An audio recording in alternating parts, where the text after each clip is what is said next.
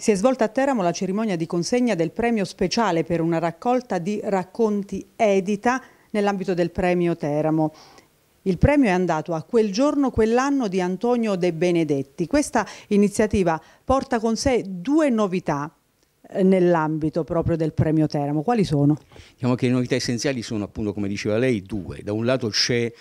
questo premio speciale che si riferisce al racconto, quindi c'è una dire, continuità ideale e sostanziale con il racconto in quanto modalità di narrativa, di scrittura narrativa da un lato e quindi diciamo, un legame eh, dire, naturale antico con il premio Teramo che premia appunto il racconto inedito, ma accanto a questo si lega il racconto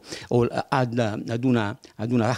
il racconto anche a ciò che intorno al racconto eh, si muove nel campo editoriale. Di qui appunto il primo speciale per una raccolta edita di racconti. Erano tre i finalisti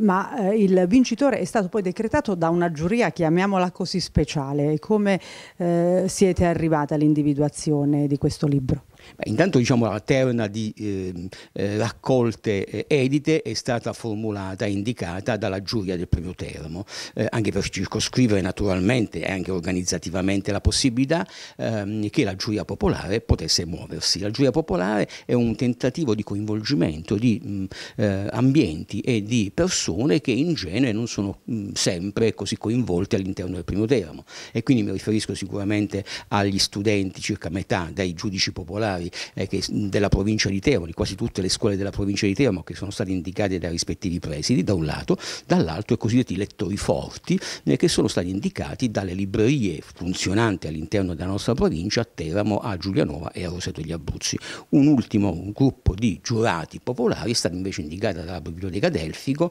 eh, sulla base evidentemente delle loro statistiche eh, di lettori, eh, privilegiando quei lettori forti che si occupano e seguono soprattutto la narrativa. Quindi, Benedetti ha collegamenti importanti con Teramo. Sì, poi il caso ha voluto per così dire che il premiato sia Antonio De Benedetti, che oltre che essere una bellissima, importante firma di, della, di un giornalista letterario del Corriere della Sera ehm, ed essere, sta, ed essere un, un, autore tra i più apprezzati nel panorama narrativo italiano, scrittore di racconti e di romanzi, anche premiati eh, nazionalmente in importanti diciamo, ehm, selezioni e premi, eh, però è anche il figlio di Giacomo De Benedetti, un signore ora maturo di una certa età, figlio di Giacomo De Benedetti, che sarà uno dei primissimi giurati, apprezzatissimi, legatissimi a Teramo, Giacomo De Benedetti, al cui nome è intitolato uno dei premi riservato a uno scrittore giovane sotto i 35 anni del primo Teramo stesso. Quindi come vedete